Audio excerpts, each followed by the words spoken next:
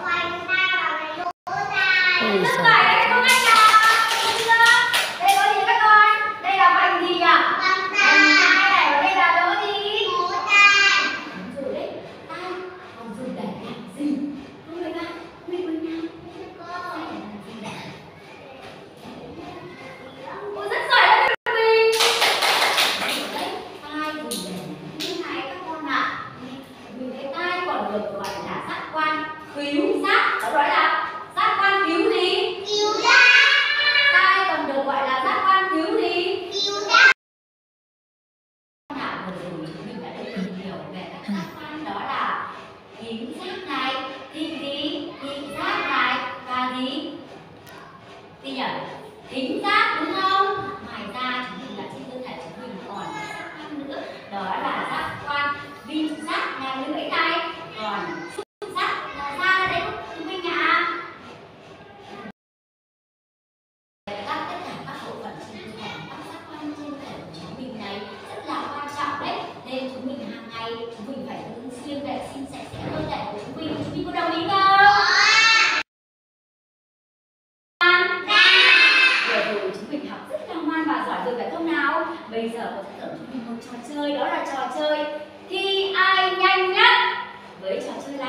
cách chơi như sau. Khi cô giáo đến tác dụng của giác quan nào thì các bé hãy chỉ thật nhanh vào giác quan đó. Chúng mình đã chưa?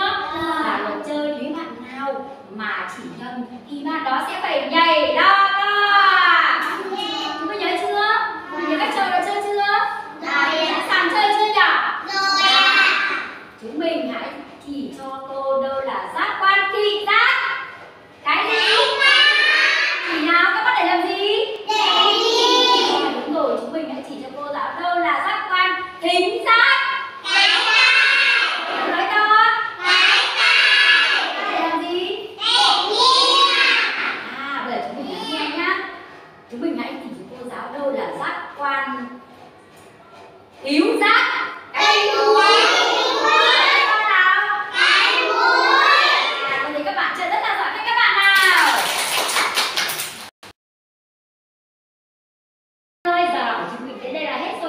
vậy hôm nay chúng mình đã học và tìm hiểu về khám phá một số giác lý, giác quan của bé đúng không nào? Và không gian chúng mình về nhà, chúng mình phải thường xuyên vệ sinh cơ thể chúng mình luôn sạch sẽ chúng nhớ chưa? Và chúng mình phải trở rất là đẹp đấy cô cháu mình cũng dạo chơi sân trường, hoạt động vài lần sang tay đẹp nhá. Tay đẹp, một